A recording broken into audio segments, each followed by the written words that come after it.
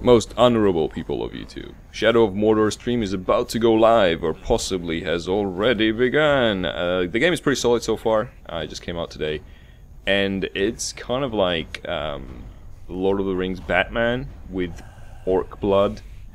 You, you basically kill a, um, a lot of British orcs, uh, which is kind of curious thing to be doing.